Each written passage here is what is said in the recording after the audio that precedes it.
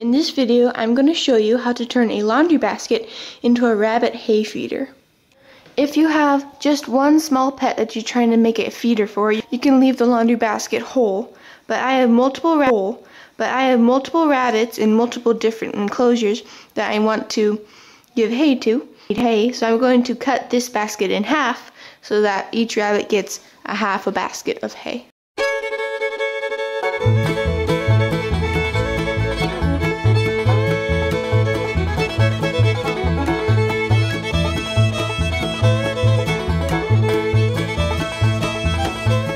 Cut the laundry basket in half, I'm going to show you how I'm going to attach it to the side of my rabbit's cages. So I have three separate pens for my rabbits, and I'm going to position the hay feeders so that, that two feeders can serve as three separate pens.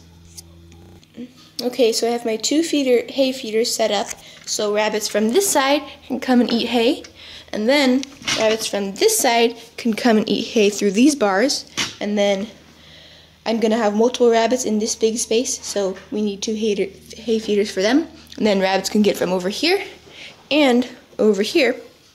So that's how I'm going to set it up. Now let's attach our hay feeders to the wire. I'm going to be using some black wire and some wire clippers.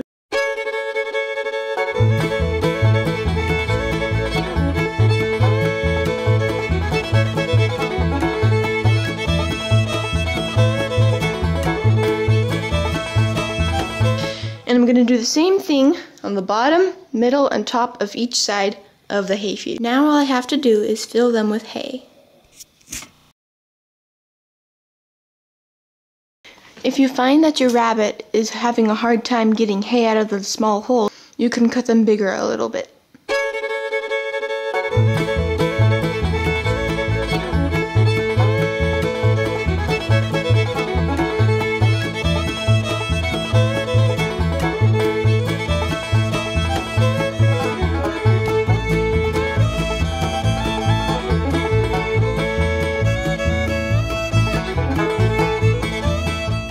Thank you so much for watching. I hope you enjoyed this video and learned a little something.